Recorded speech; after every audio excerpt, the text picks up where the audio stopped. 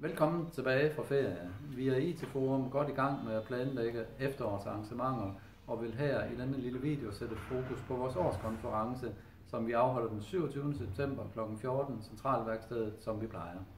I år har vi sat tema på fremtidens usikkerheder og de udfordringer, vi som branche står i med at tage højde for, hvordan fremtiden udvikler sig.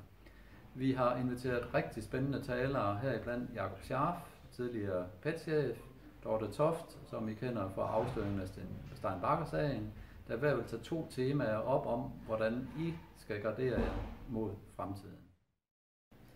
Igen i år vil vi have udstilling på årskonferencen.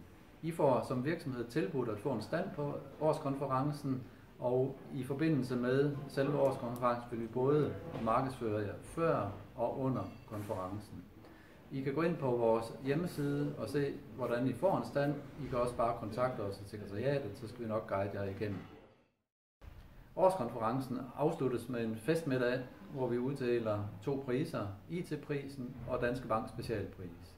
Til Danske Bank Specialpris giver vi det til en virksomhed, som har gjort noget specielt øh, og trodset, hvad vi kalder tyngdekraften og fået en succes i et svært marked. Vi efterlyser lige nu nomineret til denne øh, specialpris, og vi vil også gerne, hvis I kender en person, som I vil indstille til IT-prisen, som er for det lange seje træk, gerne have kandidater til denne. Vi holder i år vores årskonference sammen med Brands Business, vores søsterorganisation for Aalborg.